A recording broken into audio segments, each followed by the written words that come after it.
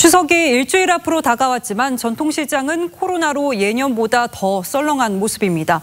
상인들은 도산 위기라고 호소합니다. 정준영 기자가 시장 상인들의 얘기를 더 들어봤습니다. 추석 연휴를 열흘 앞두고 화재 피해를 입은 서울 청량리 청과물시장. 검게 그을렸던 흔적은 애써 지워내고 있지만 재수용 과일을 사러 오는 손님을 찾기 어려울 정도입니다. 추석이라 해서 제일 과일이 많이 나가는데 올해 같은 경우에는 예년에 비해서 3분의 1도 안 되는 것 같아요. 예년 같았으면 선물용 과일 상자를 나르느라 분주했을 이 골목은 이렇게 한산한 모습입니다. 추석 대목을 가로막은 코로나에 매출도 크게 줄었습니다.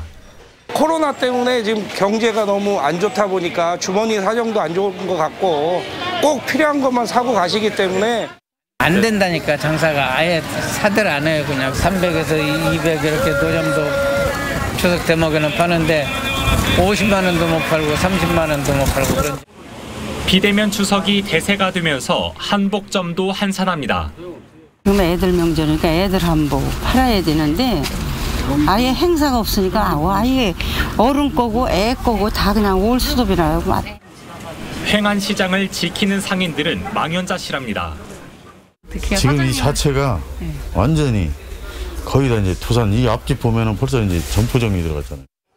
코로나에 치이고 온라인 마켓에 밀려난 재래시장의 한숨이 깊어지고 있습니다.